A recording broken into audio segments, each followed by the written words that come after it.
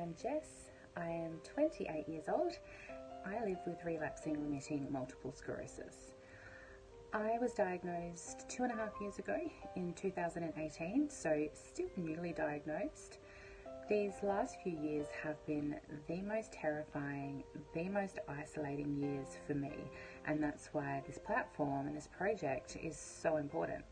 I'm Emma, and I'm working with Jess on this really exciting Rethink MS project. I was diagnosed with relapsing remitting multiple sclerosis in June of 2017 and that is something that has changed my life, uh, not necessarily for the worse either.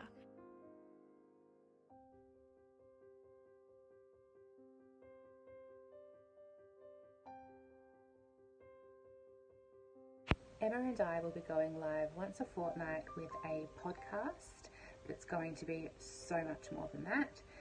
We will be discussing all things MS, but also invisible illness, disability, chronic illness.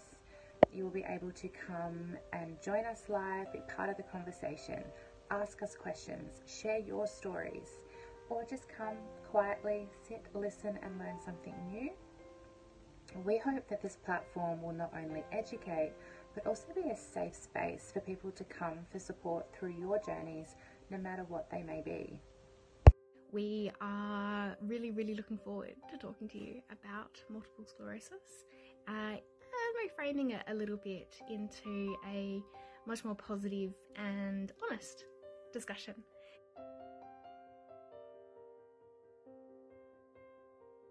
We'll cover lots and lots of topics, and hopefully, we'll be able to give you some of the answers that you are looking for. Some of the discussions that you're not really sure who to have with or what you can ask about, and also just have a reflection on what it is to have something like multiple sclerosis, which a lot of people don't know about, and it also has um, a lot of things that are unknown about it. So, what I hope from this project and from working with Jess is to learn a lot more about uh, myself about MS as well, because the more I know, the more I discover that I don't know. And to also open up the discussion for what the community wants to know, the the people who are on this journey, the people who are their support people, and also the community wider than just the people because the key message I've had in the past three, nearly four years is that MS is not just going to affect one person. There's always a ripple effect. There are always people around us supporting us.